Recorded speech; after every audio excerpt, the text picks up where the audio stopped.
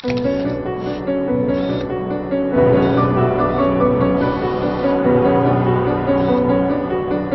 день. Э, Кинопанорама с Юрием Рязановым. У нас в гостях э, Гузель Султанова, режиссер фильма «Снежинка». Здравствуйте. Здравствуйте. Гузель, ну, несколько слов о фильме. Э, Зачем его нужно смотреть, чему он доброму учит, ну и что могут люди из него вынести? Я хотела рассказать о том, как тяжело приходится ребенку, когда у его родителей нет взаимопонимания. Это вот то, что касается судьбы главной героини Дунечки. Класс, давай поиграем. Мы давно не играли. Дуня, никаких игр. Иди одевайся. Ну, мам. Точно так же тяжело приходится ребенку, когда его родители не слышат его, пытаясь его как бы осчастливить тем путем, который они считают необходимым, не спрашивая, что же хочет ребенок. Это судьба вот второй главной героини Насти. Я этого так не оставлю. Вы знаете, сколько это платье стоит? Это же Сваровски. И в чем она теперь выступать будет? м? Я вам сейчас такой спектакль устрою. Вот. И о том, что а, дети очень тяжело переживают а, любой разлад и любой конфликт, и вообще все, ну, всю ту жестокость взрослого мира. То есть э, они ее осваивают благодаря взрослым. И надо очень, наверное, трепетно относиться к своим детям. И вторая сторона это о том, что э, мы все, даже вырастая, все равно остаемся детьми, и очень важно до своего взрослого состояния своего ребенка, этого вот внутреннего, который готов там последнюю рубашку снять, который готов помочь, который э, страдает от несправедливости, сохранить в себе, не убивать в себе, не гасить, а как бы этого ребенка сохранить и давать ему жить.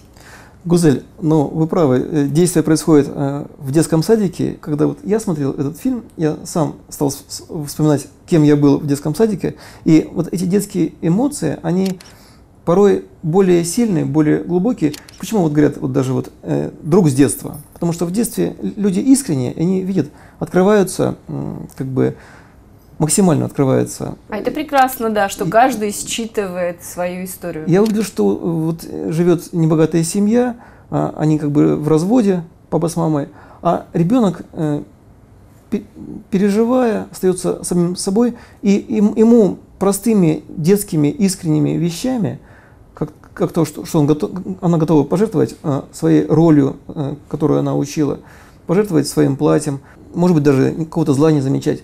И папа, когда видит э, с мамой, какой у них ребенок мирится, и в конце фильма, такое бывает, конечно, как в сказке, они вот из такого состояния ссоры, может быть, может быть, даже развода, начинают жить снова вместе, и вот благодаря эт- этой вот детской наивности, детской искренности ребенка.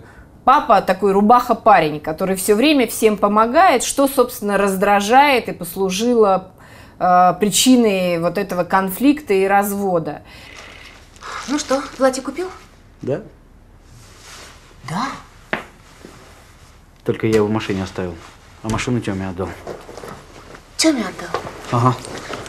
У него выставка, ему нужно картины перевести. Но когда мама э, видит тоже абсолютно качество в чистом виде в своей дочери, да, а, а мы не можем ну, ненавидеть да, своих детей, мы э, можем их только принимать такие, какие они есть. Она понимает, что, возможно, ее э, претензии к отцу, да, а, ну там слишком сильные. Может быть, надо посмотреть на это с другой стороны, потому что э, дочка, она вот такая копия папы. Возьмите мое платье.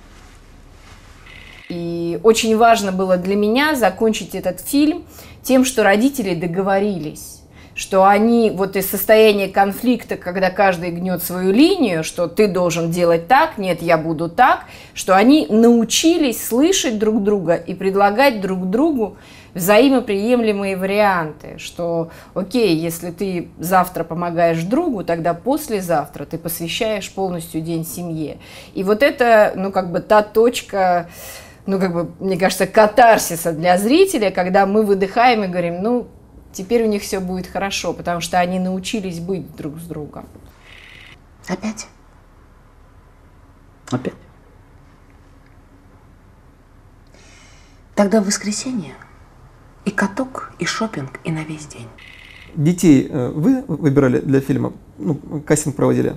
Да, да. А, Один из продюсеров фильма Оксана Лохно, а, она там прошерстила кучу театральных а, вот студий детских, агентств детских, вот, и там разговаривала, уговаривала, приглашала детей на кастинг, вот, и мы отсмотрели очень много детей, вот, и вот я выбрала, так сказать, претендентов на главные роли. А, Женю Хамжукову, ну, как бы, я увидела сразу. То есть вот она сразу вписалась в мое понимание персонажа, мое представление, и вот я не ошиблась. Буря мглою небо кроет, Вихри снежные крутя. То как зверь она завоет, То заплачет, как дитя. Вы не пытались этот, как-то вот этот фильм э, продвигать на телевидении?